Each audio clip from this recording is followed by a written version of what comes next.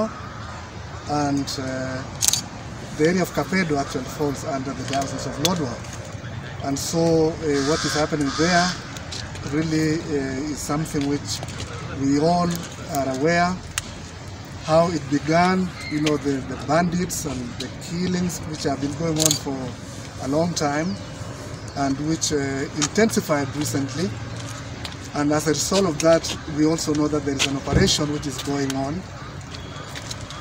Uh, while we are hopeful that this situation will at least be contained, but the situation on the ground and the reports which we are getting from the ground is that the operation, first of all, because the police have uh, put a lot of roadblocks, the people on the ground are crying that they are not getting any food. So there is a humanitarian crisis which, which is going on there, and the people really are suffering because of that.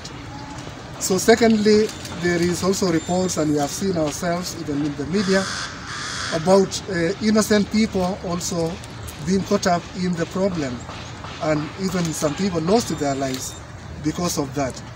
So that is a, a, a great concern because if innocent people are really suffering, and they are, then there is need to look at also this uh, operation and to call upon the security forces to really show restraint and to ensure that they go after the bandits, after those who are the, who, are, who have been killing people and ensure that the innocent lives are not lost. Because we have heard even about government officials who have been killed uh, there, and now they are saying that even sometimes when they see young people just passing by, they shoot at them, they kill them, without verifying whether they are uh, bandits or not.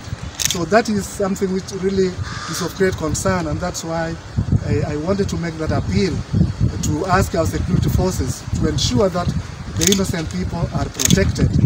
The, you know, the young people, the children, uh, the, the, the, women there. Uh, because when these things happen, most of the, these bandits have disappeared. Some have gone to maybe Samburu, to West Pokot. So the people are on the ground. Most of them definitely are innocent people, and that needs to be looked into.